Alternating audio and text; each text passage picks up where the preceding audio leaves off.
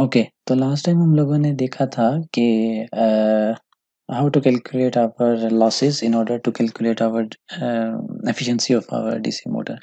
For that, uh, we need to have a look at a practical example, and uh, for that we have this example, example 9-8. So what's given in this example is a 50 horsepower That's the power 250 volts 1200 rpm shunt dc motor has a rated armature current of 170 amps and a rated field current of 5 amps uh, when its rotor is blocked an armature voltage of 10.2 ये वो voltage है जो हमने बोला था कि rotor block करके हमने स्लाइटली इंक्रीज करते करते तब तक लेके जाना है जब तक वो रेटेड करंट ना दे दे तो यहाँ 10.2 produces a 170 amps of current flow and a field voltage of this is given here in order uh, for you to calculate the value of RF. Now, of 250 volts produces a field current flow of 5 amps. The brush drop is assumed to be 2 volts जैसे हमने पहले देखा था. At no load with a terminal voltage equals to 240 volts, the armature current is equals to 13.2 amps. Uh, the field current is 4.8 amps. The motor or speed is 1150 rpms. How much power is output from this motor at rated condition. तो वो ये पूछ रहा है कि rated condition के ऊपर हमारी आउटपुट पावर क्या होगी? What is the motor efficiency तो सबसे पहले तो हम ये देखेंगे कि हमारे लॉसेस का क्या क्या है। उसके लिए हमें क्या क्या चीज़ें चाहिए? आर ए की वैल्यू चाहिए आर एफ़ की वैल्यू चाहिए पहले तो कॉपर uh, लॉसेज निकालने के लिए। तो in order to calculate the value of R A here 10.2 volts is given वो ऊपर आ गया divided by the the rated current that is 170 amps वो आ गया 0.06 वैल्यू आ रही की आ गई इसी तरह से फ़ील्ड रेजिस्टेंस की वैल्यू निकाल ली। टू फिफ्टी वोल्ट्स उसने कहा था फ़ील्ड वाइंडिंग को दिए और करंट फ्लो फाइव एम्प्स का हुआ था। तो हमारे पास फिफ्टी ओहम्स जो है वो आर की वैल्यू आ गई। तो जो total full load armature losses हैं वो अगर हम निकाल तो आई स्क्वेयर वो जो हमारा रेटेड करंट था इन टू आर ए या आ गया आर्मेचर लॉसेज और फ़ील्ड लॉसेज जो हैं वो आई स्क्वायर, इस केस में आई हमारे पास ऑब्वियसली फ़ील्ड वाला होगा इनटू जो फ़ील्ड की हमारे पास रेजिस्टेंस थी तो 1250 वॉट्स आ गए। उसके अलावा हमारे पास अगली चीज़ क्या चाहिए हमें? बेसिकली तो आउटपुट फाइंड करनी है आउटपुट फाइंड करने के लिए जब सारे के सारे लॉसेज हमारे पास आ जाएँगे तो P in minus P minus losses अगर हम कर लें तो जवाब में हमारे पास पी आउट आ जाएगा। तो जो बाकी लॉसेज हैं वो कौन कौन से होते हैं? अभी कॉपर हमने कर लिए पीछे बचा ब्रश वाला, उसके अलावा जो मैकेनिकल लॉसेज और कोर लॉसेज और इसके अलावा फिर स्ट्रे लॉसेज तो brush losses V B D two volts होता है और I A one seventy amps उसने दिया हुआ है तो थ्री फोर्टी वाट्स हो गया। उसके अलावा जो टोटल लॉसेस हैं हमारे पास कोर और मैकेनिकल के, वो क्या होंगे? तो वो 240 अच्छा अब यहाँ पे वो 240 को 13.2 एम्प से मल्टीप्लाई कर रहा है। इसकी क्या रीज़न है? वो टोटल लॉसेस देख रहा है कि हमारे पास जो टोटल लॉसेस हैं, वो हमारे पास क्या होंगे। टू फोर्टी और थर्टीन पॉइंट टू जो है, वो बेसिकली हमारे पास ये दिया हुआ है कि at no load with terminal voltage हमने कहा था कि जब भी हमने मैकेनिकल लॉसेस और जो कोर लॉसेज हैं लम टुगेदर वो फाइंड करते हैं तो हमें नो लोड टर्मिनल वोल्टेज यानी नो लोड पे मशीन को चलाना है, उसी स्पीड के ऊपर। और जो स्पीड इसने चलाया हुआ है, वो ऑल दो वो नहीं है, जो इस पूरे के पूरे बाकी न्यूमेरिकल के अंदर हमारे पास है। यहाँ पे जो स्पीड है, वो डबल वन फाइव ज़ीरो लेकिन still it is very close to twelve hundred R R P M तो जो भी वैल्यू हम इधर से निकालेंगे, वो ऑलमोस्ट इक्वल्स होगी जो अंडर लोडेड कंडीशन 1200 आरपीएम के ऊपर होगी। तो इसलिए उसने वही चीज़ यूज़ की है क्योंकि हमारे पास और कोई डाटा इस वक्त अवेलेबल नहीं है।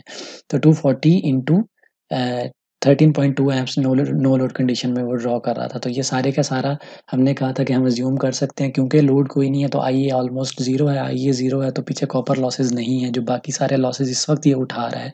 जो लास्ट में उसने हमें दिया हुआ है तो वो सारे के सारे या तो कोर लॉसेज हैं या फिर मैकेनिकल लॉसेज हैं तो वो थ्री वन सिक्स एट की वैल्यू उसने हमने यहाँ पे निकाल ली। तो अब अगर हम ये देखना चाहें कि आउटपुट पावर क्या है तो उसके लिए जो इनपुट पावर होगी माइनस जितने भी लॉसेज हैं अगर हम ये कर दें तो जवाब हमारे पास आउटपुट में आ जाएगा। तो इनपुट क्या है? V T into I L V T क्या दिया हुआ था उसने? टू फिफ्टी और आई एल दिया हुआ था one seventy five now you might get confuse here कि वहाँ पे 170 है, यहाँ 175 क्यों है? हमारी जो टोटल करंट है, जो, क्योंकि शंट मोटर है तो जो टोटल करंट है यहाँ पे पी इन वो है जो हम दे रहे हैं।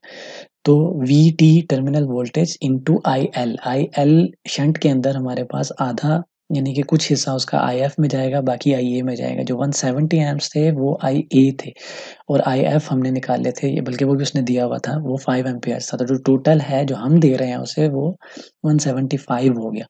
175 इंटू 250 24375 वॉट्स ये हमारी इनपुट थी माइनस ब्रश लॉसेस कैलकुलेट कर लिए, माइनस कॉपर लॉसेज कैलकुलेट कर लिए, माइनस कोर और मैकेनिकल कैलकुलेट कर लिए और माइनस स्ट्रे। स्ट्रे हमने कहा था हमेशा 1% ऑफ़ द रेटेड पावर होता है तो 1% 0.01 इंटू जो रेटेड उसकी थी 43750 तो जो पी आउटपुट मिली हमें वो three six eight two zero watts मिली।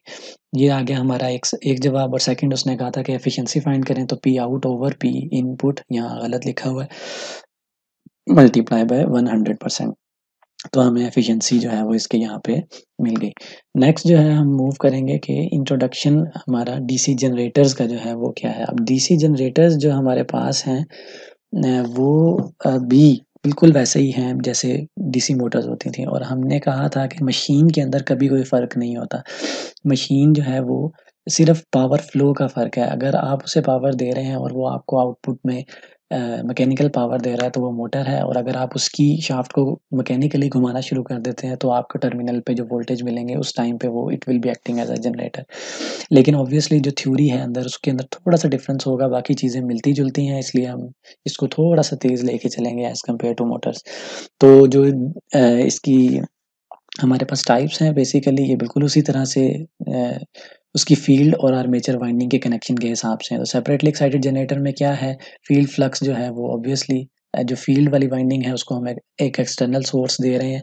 और जो आर्मेचर है वो हमें बाद में आउटपुट देगा। इसके अंदर दोनों चीज़ों को हमने अलग-अलग रखा हुआ है सोर्सेज़ को। शंट जनरेटर के अंदर क्या कर रहे हैं जो फ़ील्ड फ्लक्स है, उसको हमने पैरेलल में कनेक्ट किया हुआ है अपनी आर्मेचर वाइंडिंग के साथ। फ़ील्ड वाइंडिंग को पैरेलल में कनेक्ट किया हुआ है आर्मेचर वाइंडिंग के साथ। इसका मतलब ये है कि फ़ील्ड जो प्रोड्यूस हो रही है, वो that power is also coming from the uh, induced EMF that is being generated in uh, in the generator itself in the वो किस तरह से आती है या पहला स्टेप किस तरह से होता है वो हम जब इसके अंदर जाएँगे तो देखेंगे। तो स्टिल शंट टाइप के अंदर क्या है? हमारी फ़ील्ड वाइंडिंग और हमारी आर्मेचर वाइंडिंग पैरेलल में कनेक्टेड है। सीरीज़ के अंदर वही फ़ील्ड वाइंडिंग अब हमारे पास आर्मेचर वाइंडिंग के साथ सीरीज़ में कनेक्टेड है। क्यूमुलेटिवली कंपाउंडेड के अंदर सीरीज़ और पैरेलल दोनों कनेक्शंस अवेलेबल हैं और इस तरह से हैं कि दोनों की जो फ्लक्सेस हैं, वो एड अप हो रहे हैं डिफरेंशियली कंपाउंडेड के अंदर दोनों के फ्लक्सेस जो हैं वो सब्ट्रैक्ट हो रहे होते हैं। तो ये बिल्कुल उसी तरह से टाइप्स हैं, जिस तरह से हमारे पास डीसी मोटर की टाइप्स थी। बिल्कुल डीसी मोटर की तरह ही हमने डीसी मोटर के साथ कंपेयर करते जाएँगे इसके काउंटर पार्ट को जनरेटर को। उसके अंदर हमने कहा था कि हमारे पास जब हमने दो मोटर्स को आपस में कंपेयर करना होता है तो हम हमारे पास सबसे बड़ी जो चीज़ होती है, वो हमारे पास क्या थी? स्पीड रेगुलेशन थी। अब हम जनरेटर की बात कर रहे हैं तो ऑब्वियसली यहाँ पे स्पीड रेगुलेशन को रिप्लेस कर लेगा वोल्टेज रेगुलेशन अब वोल्टेज रेगुलेशन क्या है? V no load minus V full load divided by V full load तो ये बेसिकली अगर आप ये याद रखो कि जनरेटर की आउटपुट कैरेक्टरिस्टिक क्या होंगी? जैसे मोटर की आउटपुट करेक्टरिस्टिक जो थी हमारे पास, वो हमारे पास थी स्पीड और उसका जो इंड्यूस टॉर्क था। जो जनरेटर है, इसके हमारे पास आउटपुट में क्या आता है? या तो वोल्टेज और करंट्स तो जो हमारा आउटपुट होगा या हमारे टर्मिनल कैरेक्टरिस्टिक्स होंगी, इसके केस में जनरेटर के केस में वो हमारे पास वी एंड आई होंगे। ठीक हो गया तो इसके बाद अगर हम ये देखें कि जो वोल्टेज रेगुलेशन है हमारी V no load minus V full load over V full load ये बेसिकली हमें बिल्कुल उसी तरह से, जैसे स्पीड रेगुलेशन हमें एक रफ मैयर दे रहा था टॉर्क स्पीड करेक्टरिस्टिक का, ये भी हमें एक रफ मैयर दे रहा है, वोल्टेज करंट करेक्टरिस्टिक का, एक आउटपुट करेक्टरिस्टिक ग्राफ का, जो हमारा जनरेटर का होगा। इसका मतलब क्या है कि ऑब्वियसली अगर वी आर की वैल्यू या वोल्टेज रेगुलेशन की वैल्यू पॉजिटिव में होती है तो इसका मतलब है कि विद इंक्रीज इन लोड जो वोल्टेज है, जो टर्मिनल वोल्टेज है जनरेटर का, वो डाउन होता है। तो जो हमारे पास कर्व आएगी, वो नीचे की तरफ़ आएगी। सिमिलरली अगर हमारे पास इसकी वैल्यू नेगेटिव में होती है तो इसका मतलब है कि with increase in load the terminal voltage of your generator is being increase इसका मतलब है कि जो लाइन हमारे पास इसके रिज़ल्ट में आएगी, वो इस तरह से आएगी, एक पॉजिटिव स्लोप के साथ। तो अगर नेगेटिव होगा वोल्टेज रेगुलेशन तो पॉजिटिव स्लोप वाला वोल्टेज करंट करेक्टरिस्टिक होगी जनरेटर की। और अगर पॉजिटिव होगा वोल्टेज रेगुलेशन तो नेगेटिव स्लोप के साथ ऐसे डिक्लाइनिंग बिल्कुल वैसे ही जैसे हमारे पास स्पीड रेगुलेशन के अंदर टॉक स्पीड करेक्टरिस्टिक मोटर की आती थी। इसके अलावा हमारे पास जो सारे के सारे जनरेटर्स हैं, हमें पता है कि हमने उसको इनपुट जो है वो हमने देनी है in the form of mechanical power. तो वो हम जिसको, जिस चीज़ के ज़रिए उसको देते हैं, उसको हम बेसिकली प्राइम ओवर बोलते हैं। तो प्राइम ओवर जो है वो कोई भी चीज़ हो सकती है। वो एक स्टीम टर्बाइन हो सकती है, एक डीजल इंजन हो सकता है और एक इलेक्ट्रिक मोटर भी हो सकती है। तो ज़्यादातर ये होता है कि जो स्पीड है प्राइम मूवर की, ज़ाहिरी बात है वो जितनी तेज़ घुमाएँगे ओमेगा की वैल्यू इतनी ज़्यादा होगी, जितनी ज़्यादा होगी तो ई ए इंड्यूस्ड ई की वैल्यू उतनी ज़्यादा होगी। तो speed of the prime mover effects the output voltage of a generator or since the prime movers can vary widely in their speed characteristic it is customary to compare the voltage regulation and output characteristic of different generator by assuming the constant speed prime movers अगर हम ये देखना चाह रहे हैं कि दो machines को आपस में कंपेयर करना चाह रहे हैं तो हम ये बाकी हर चीज़ को हमें कांस्टेंट रखना पड़ेगा। हम दोनों की वी आई करेक्टरिस्टिक को देख रहे होंगे टर्मिनल करेक्टरिस्टिक को, लेकिन बाकी हर चीज़ को हम कांस्टेंट रखेंगे। इसका मतलब ये हुआ कि हम जो स्पीड ऑफ़ रोटेशन है, उसको हम कांस्टेंट रखेंगे। ये कंसिडर करेंगे कि जो प्राइम मूवर है, वो एक ही तरह का दोनों को लगा हुआ है, और अब इसके फ़र्ज़ कर लेते हैं जनरेटर नंबर वन के जो आउटपुट करेक्टरिस्टिक है, वो किस तरह की है, और जनरेटर नंबर टू जो है, उसके आउटपुट आउटपुट करेक्टरिस्टिक किस तरह की है बाय कीपिंग द स्पीड या by keeping the prime over same तो इसमें वो यही कहता है कि throughout this chapter the generator speed will be assume will assume to be constant unless a specific statement is made to the contrary ठीक हो गया। उसके अलावा ये बात कर रहा है कि डीसी जनरेटर्स जो हैं, ये बहुत ज़्यादा रेयर हो गए हैं पावर सिस्टम्स के अंदर। इवन जो डीसी पावर सिस्टम है, जैसे ऑटोमोबाइल्स में एयरक्राफ्ट्स में हमने कहा जगह जगह होते हैं, वहाँ पे भी जो जनरेटर आपको मिलेगा, वो डायरेक्ट डीसी जनरेटर नहीं मिलेगा। अमूमन एक जनरेटर होगा और उसके बाद उसके साथ हमने एक रेक्टिफायर सॉलिड स्टेट ड्राइव लगाई होगी, जो उसे रेक्टिफाई करके हमें डीसी दे रहा होगा। रीज़न बीइंग कि हमें कमोटेटर्स और हमें ब्रशेज़ को अवॉइड करना जो है वो ज़्यादा बेहतर लगता है क्योंकि ब्रशेज़ या कमोटेटर एक ऐसी चीज़ है, जो जिसको एक पीरियोडिक मेंटेनेंस चाहिए, वो ज़ाहिरी बात है कि वेयर ऑफ़ हो जाते हैं, घिस जाते हैं और फिर आपको उसको चेंज करना पड़ता है। तो इसलिए बहुत ज़्यादा रेयर हो गए हुए हैं, लेकिन still we need to know how they work उसके अलावा, वो कहते हैं कि इक्विवेलेंट सर्किट अगर आप डीसी जनरेटर का देखना चाहो तो उसका जो सिंप्लीफाइड वर्जन है, वो बिल्कुल उसी तरह का होगा, जिस तरह का एक सेपरेटली एक्साइटेड मोटर का हमारे पास था। कि सिर्फ़ जो डिफरेंस है अब अब हमारे पास ये है कि उस केस में करंट हम इधर जा रहा था एंटर हो रहा था, लेकिन इस केस में अब जो करंट है, वो लीव कर रहा है। ऑब्वियसली ये हमारा अब जनरेटर है तो एक सोर्स ऑफ़ ईएमएफ है और यहाँ से हम करंट ड्रॉ कर रहे हैं तो आई ए बाहर की तरफ़ जा रहा है।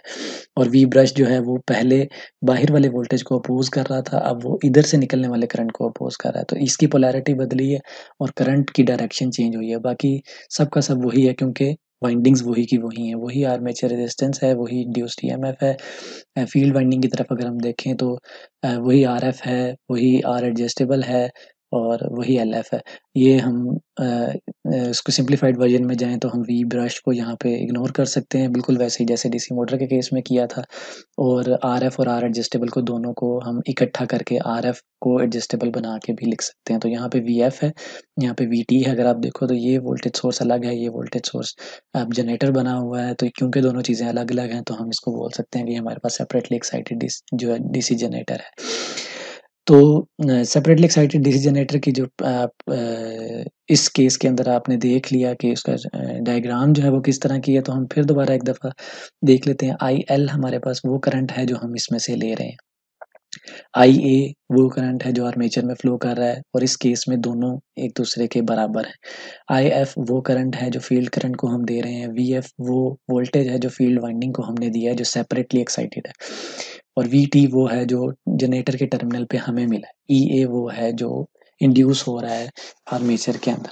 तो I L will be equals to I A इसकी बात समझ में आ जाती है। यहाँ पे अगर आप के वी एल लगाओ तो आपको पता है कि ई ए जो है that is equals to I A R A plus V T या फिर V T is equals to E A minus I A R A इसी तरह से आई एफ़ जो है वो आपके पास V F over R F है, बिल्कुल वैसे ही जैसे पहले हुआ करता था। तो ये चीज़ें हमने देख ली। अब आता है कि terminal characteristic of a separately excited DC generator वो किस तरह की होंगी? टर्मिनल कैरेक्टरिस्टिक वंस अगेन हमने पहले कहा था कि टर्मिनल कैरेक्टरिस्टिक का मतलब है आउटपुट करेक्टरिस्टिक और आउटपुट जनरेटर की हमारे पास क्या होती है? वोल्टेज एंड करंट तो जो टर्मिनल करेक्टरिस्टिक अब हम देखेंगे डीसी जनरेटर की, वो वी आई ग्राफ की बेसिकली हम बात कर रहे होंगे। तो वी आई ग्राफ क्या होगा? वी टी टर्मिनल वोल्टेज जो हमें मिल रहा है, ये आउटपुट पे है और आई एल वो करंट जो हमें आउटपुट पे मिल रहा है। इन दोनों के दरमियान में जो रिलेशन है हमारे पास, उसको हम कहेंगे कि वो हमारे पास टर्मिनल करेक्टरिस्टिक है इस जनरेटर की। वी टी की एक्सप्रेशन हमारे पास है V T is equals to E A minus I A R A अब अगर हम ये देखें तो ई ए और आई ए जो है, वो एक दूसरे से इंडिपेंडेंट है। किस तरह से इंडिपेंडेंट है कि आई ए के बदलने से ई ए के अंदर तो कोई डिफरेंस हमें नहीं देखने को मिलता। लेकिन फिर वंस अगेन अगर हम ये देखें कि हमारा जो relationship between E A and I A है, वो क्या है तो वो हम कह सकते हैं कि वो इस तरह से एक सिंपल सीधी की सीधी लाइन है। ठीक है?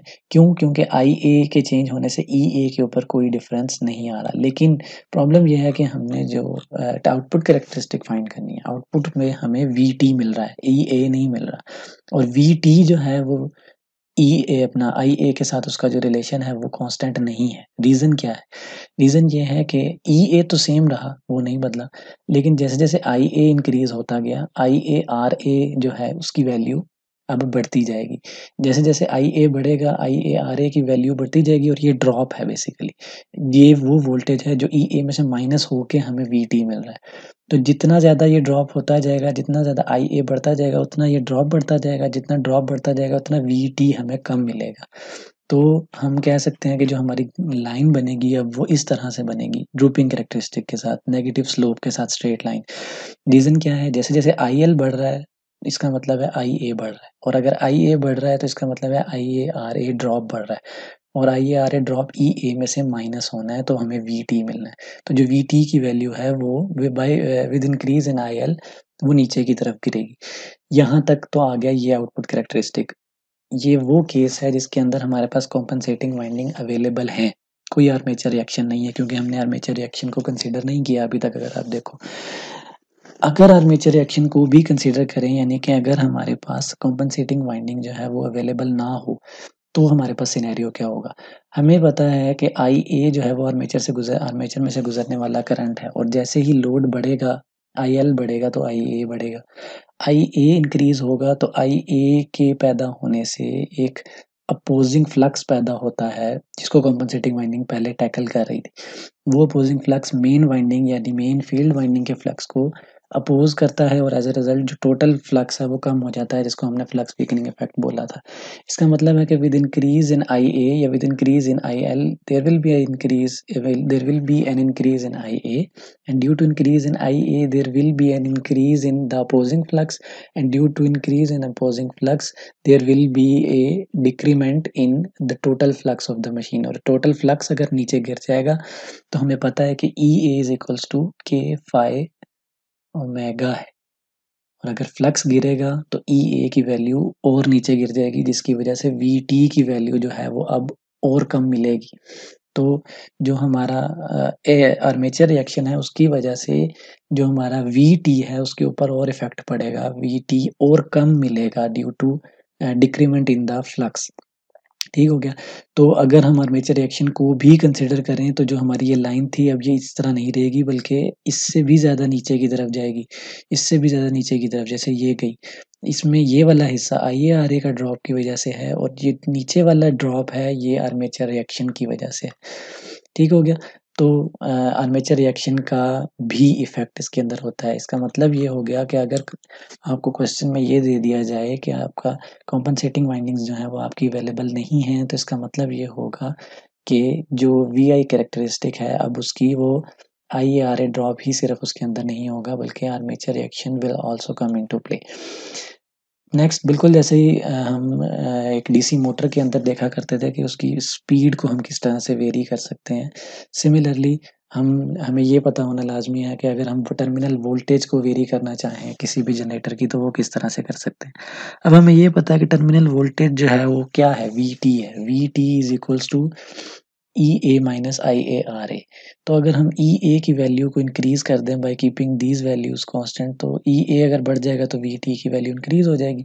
ई ए को हम कैसे बढ़ा सकते हैं? E A is equals to K phi omega K तो हम चेंज नहीं कर सकते because it depends on the construction of the machine phi बदल सकते हैं और ओमेगा बदल सकते हैं। तो हमारे पास दो सिनेरियोज हैं जिससे हम टर्मिनल वोल्टेज को कंट्रोल कर सकते हैं, उसकी वैल्यू को बढ़ा सकते हैं या कम कर सकते हैं। या तो स्पीड ऑफ़ रोटेशन बदल दें। स्पीड ऑफ़ रोटेशन को बदलेंगे तो ओमेगा इंक्रीज हो जाएगा ओमेगा इंक्रीज होगा तो ई ए इंक्रीज हो जाएगा ई ए इंक्रीज होगा तो ऑब्वियसली वी टी भी इंक्रीज हो जाएगा। ठीक हो गया। सेकंड जो हमारे पास ऑप्शन है वो है कि फ़ील्ड करंट को बदलें। क्यों? क्योंकि सेकंड चीज़ जो चेंज कर रहा है, कर सकते हैं हम ई ए को बदलने के लिए वो फाई है। फाई पैदा हो रहा है फ़ील्ड वाइंडिंग की वजह से। अगर हम आर एफ़ की वैल्यू को डिक्रीज कर दें तो फ़ील्ड करंट इंक्रीज हो जाएगा, फ़ील्ड करंट इंक्रीज होगा तो फाई इंक्रीज हो जाएगा। फाई इंक्रीज होगा तो ई ए भी इंक्रीज हो जाएगा। ठीक हो गया? तो ई ए इंक्रीज हो जाएगा तो वी टी जो टर्मिनल वोल्टेज है, वो भी इंक्रीज हो जाएगा। अब वो ये कहता है कि बहुत सारी एप्लीकेशन के अंदर ऐसा होता है कि जो स्पीड लिमिट है, वो कंस्ट्रेंट होता है हमारे पास। हमारा, ज़ाहिर बात है, अगर एक जनरेटर को आप एक इंजन से पावर दे रहे हो तो इंजन जो है, वो रेटेड स्पीड पे ही घूमेगा। चौदह सौ आर पी एम पे आप उसको इंक्रीज कर लोगे तो ज़्यादा से ज़्यादा फिफ्टीन हंड्रेड सिक्सटीन हंड्रेड पर चला जाएगा। इससे ज़्यादा नहीं हम स्पीड के कंस्ट्रेंट्स नहीं बढ़ा सकते। स्पीड के ऊपर कंस्ट्रेंट्स होते हैं। रीज़न क्या है? स्पीड इंक्रीज होती है तो लॉसेस भी बढ़ते हैं मैकेनिकल लॉसेस इंक्रीज हो जाते हैं। तो अमूमन लिमिटेशंस होती हैं कि हम स्पीड को ना बहुत ज़्यादा कम कर सकते हैं, ना बहुत ज़्यादा ज़्यादा कर सकते हैं। लेकिन हमें वोल्टेज जो है वो वेरिएबल अक्सर औकात चाहिए होता है। तो इसलिए हम अमूमन जो मेथड यूज़ करते हैं for manipulating the terminal voltage वो हम ये वाला मेथड यूज़ करते हैं फ़ील्ड करंट वाला। हमेशा हम जो हमारी एक्साइटेशन ब्रांच है, जो हमारी एक्साइटेशन फ़ील्ड है फ़ील्ड वाइंडिंग है, उसमें से गुजरने वाले करंट को हम चेंज करेंगे और उससे सब्सिक्वेंटली हम फाई को चेंज करेंगे और फाई के चेंज से हम ई ए को कंट्रोल कर लेंगे। फाई बढ़ा लेंगे तो ई ए हमारा इंक्रीज हो जाएगा। फाई को कम कर लेंगे तो ई ए हमारा डिक्रीज हो जाएगा। नॉन लीनियर एनालिसिस को आप छोड़ दें। ये इस डायग्राम के अंदर अगर आप देखें तो इसके अंदर आपको उसने वो वही बताया हुआ कि सेपरेटली एक्साइटेड जनरेटर था। ये उसकी कॉम्पनसेटिंग वाइंडिंग के साथ है। तो ये उसकी वो वाली वी आई कैरेक्टरिस्टिक थी जिसमें एक वैल्यू थी फाइव की जो ज़रा कम थी। फिर आपने क्या किया कि इंक्रीज कर दिया फाइव को, यानी कि फ़ील्ड करंट को इंक्रीज कर दिया। तो जो नई कर्व हमें वी आई की मिली, वो ये मिली। तो वो बिल्कुल एज इट इज़ ऊपर चला गया हमें जो उसी करंट के ऊपर अब जो वोल्टेज मिल रहा है, वो ज़्यादा मिल रहा है। यहाँ पे देखें तो उसी करंट के ऊपर, पहले वोल्टेज ये था, अब ये मिल रहा है। यहाँ पे देखें तो उसी करंट के ऊपर पहले वोल्टेज नीचे वाला था, अब ये मिल रहा है। तो हमें एक चेंज नज़र आ रहा है, जो सिंपली क्या है रेजिस्टेंस चेंज करने से हमें यहाँ पे मिला है। इसके लिए एक एग्जांपल उसने आपको दी हुई है। इस एग्जांपल के अंदर क्या है? एक सेपरेटली एक्साइटेड डीसी जनरेटर है, जिसकी रेटिंग उसने कहा है जी 172 किलोवाट्स है 430 वोल्ट्स है 400 एम्प्स है 1800 आरपीएम है, और उसकी फिगर ये दी हुई है। यहाँ उसने आर एडजस्टेबल की वैल्यू दी हुई है एनएफ की वैल्यू दी हुई है आरएफ की दी हुई है आरए की दी हुई है। और बाकी चीज़ें भी मैंशन है। V F four thirty volt उसने दिया हुआ है। ठीक है, अब वो कहता है, अगर द वेरिएबल रजिस्टर जो इसके अंदर है जनरेटर फ़ील्ड सर्किट का, इसका मैग्नेटाइजेशन कर्व भी है, जो उसने दिया हुआ है नेक्स्ट पेज के ऊपर, ये। ठीक हो गया? और मैग्नेटाइजेशन कर्व के अंदर अगर आपने जो चीज़ें देखनी होती हैं, वो ये देखनी होती हैं कि यहाँ पे ई ए है, बिल्कुल। यहाँ पे फ़ील्ड करंट है, बाजू का यहाँ पे मैग्नेटोमोटिव फोर्स भी होती है। तो ये एक सिंपल कर दिया, उसने फ़ील्ड करंट दे दिया। ठीक हो गया। अच्छा जी, अभी वो फाइंड करने को क्या कह रहा है? वो कह रहा है कि if the variable resistor R adjustable in the generator field circuit is adjusted to 63 ohms and the generator's prime mover is driving at 1600 rpm what is this generator's no load terminal voltage? जनरेटर का no load terminal voltage मांग रहा है वो। तो सबसे पहले तो 63 ohms आर एडजस्टेबल है जो total no load terminal voltage कैसे निकाल सकते हैं? By using the magnetization curve लेकिन मैग्नेटाइजेशन कर्व जो है, वो एक ख़ास स्पीड पे दिया होता है और ये जो स्पीड है, जिसके ऊपर ये कर्व दिया हुआ है, वो 1600 के ऊपर है। 1600 के ऊपर है? हाँ। लेकिन जो रेटेड स्पीड है, वो 1800 की है। ठीक हो गया। तो अब वो ये कह रहा है कि सबसे पहले हम ये देखना चाहेंगे कि हमारे पास फ़ील्ड करंट कितना है। अगर हमें फ़ील्ड करंट मिल जाएगा तो हम मैग्नेटाइजेशन कर्व से देख लेंगे कि नो लोड वोल्टेज उसके ऊपर क्या है? नो लोड इसलिए कह रहे हैं क्योंकि फिर जो मैग्नेटाइजेशन कर्व है, वो हमें वाई एक्सिस पे ई ए दे रहा है और ई ए जो है, वो सिर्फ़ नो लोड कंडीशन में ही टर्मिनल वोल्टेज के बराबर होता है। तो फ़िलहाल अभी उसने नो लोड की ही बात की है तो हमें ई ए ही चाहिए, ठीक है? तो इस केस के अंदर सबसे पहले आर एफ़ देखें क्या है? आर एफ़ जो, की जो वैल्यू थी वो ऑलरेडी गिवन थी 20 और आर एडजस्टेबल उसने बताया 63 है तो जो टोटल बना वो 83 ओम्स बना। अब वो कह रहा है कि field current of the machine is I F is equals to कितना होगा? वी एफ़ गिवन है 430 आर एफ़ निकाल लिया इधर से। 83 तो 5.2 एम्प्स करंट जो है वो उसकी फ़ील्ड वाइंडिंग से गुजर है। 5.2 के ऊपर हमारे पास जो टर्मिनल वोल्टेज है वो क्या है एट नो लोड कंडीशन ये 5.2 है। 5.2 के ऊपर जी 430 है। लेकिन ये 430 जो है वो एट 1800 आरपीएम है। हमें उसने मांगा हुआ है एट 1600 आरपीएम के लिए तो चेंज होगा। अब हमारे पास दो स्पीड्स हैं और एक ईएमएफ है। तो हम दूसरा ईएमएफ निकाल सकते हैं, वही पुरानी अप्रोच यूज़ करके। ठीक है, ये ईएमएफ हमें नहीं पता, ये स्पीड पता है 1600 है, ये स्पीड पता है सॉरी ये स्पीड पता है 1800 है, ये स्पीड पता है 1600 है और ये स्पीड ये ईएमएफ पता है जो हमने निकाला 430 है। तो नया ईएमएफ जो है एट 1800 वो हमारे पास क्या होगा? 382 वोल्ट्स ठीक हो गया? तो हमें पता है कि ये भी, ये निकाला है, ये वी टी के बराबर कब होगा? उसने हमसे वी टी मांगा हुआ है, लेकिन V T at no load मांगा हुआ है। तो V T at no load जो है वो ई ए के बराबर ही होता है। तो यही वोल्टेज हमारा 382 वोल्ट जो है वो हमारा नो लोड टर्मिनल वोल्टेज होगा इस केस में। उसके बाद बी पार्ट के अंदर वो कहता है कि अगर एक 360 सिक्सटी एम्स का लोड भी कनेक्ट कर दिया जाए फर्दर इसके ऊपर तो अब हमारे पास टर्मिनल वोल्टेज क्या होगा? तो ये हमें पता है 382 होना था। थ्री सिक्सटी एम्स का लोड लग गया है और आर ए की वैल्यू पॉइंट ज़ीरो फाइव है। ठीक हो गया? आर ए की वैल्यू गिवन है पॉइंट ज़ीरो फाइव इसका मल्टीप्लाई कर दिया तो जो टर्मिनल वोल्टेज मिला वो थ्री सिक्सटी फोर मिला। ठीक हो गया? सी के अंदर उसने आर्मेचर रिएक्शन की बात की है तो इसको आप इग्नोर भी कर सकते हो। अगर आप ना भी करना चाहो तो ये बहुत ईजी है। जहरी बात आर्मेचर रिएक्शन है तो इसका मतलब है कि अब जो टोटल फ्लक्स है वो कम होगा। और टोटल फ्लक्स है वो कम होगा। इसका मतलब क्या है कि जो टोटल आईएफ है, वो अब इफ़ेक्टिव आईएफ पहले वाले आईएफ से कम होगा। और कितना कम होगा? जो आर्मेचर रिएक्शन की magnetomotive force divided by NF ठीक है? हमें पता है physicals to I F N F होता है। तो यहाँ से हम वैल्यू निकाल लेंगे आई एफ़ की, जो नेगेटिव में है इसके। तो अब हमारे पास जो इफ़ेक्टिव आई एफ़ बचा, वो 4.75 बच गया। पहले 5.2 था। तो 4.75 पे हमारे पास क्या टर्मिनल वोल्टेज होगा? ये 4.75 है तो वो 410 होगा। लेकिन 410 है एट 1600 आरपीएम हमारी मशीन चलनी है 1800 आरपीएम पे। ठीक है तो वो सिमिलर अप्रोच दोबारा यूज़ की और अब हमारे पास जो ई e ए की वैल्यू है वो 364 है। ठीक है, अब जो है, जो लोडेड कंडीशन थ्री हमारे पास 360 सिक्सटी एम्स की, उस केस में हमारे पास टर्मिनल वोल्टेज 346 रह गया। तो अगर आप कंसीडर करो इसको और उसको दोनों दोनों केसेस को देखो तो आपके पास 360 sixty amps loaded condition in the presence of compensating winding जो वोल्टेज आ रहा था, वो 364 था। लेकिन इन द एबसेंस ऑफ़ जो हमारे पास कंपनसेटिंग वाइंडिंग जो वोल्टेज आ रहा है, वो 360 346 है तो कम हो गया। कम हो गया है, ये कम क्यों हुआ है? ये वही आर्मेचर रिएक्शन वाला ड्रॉप है जो हमने आउटपुट करेक्टरिस्टिक के अंदर देखा।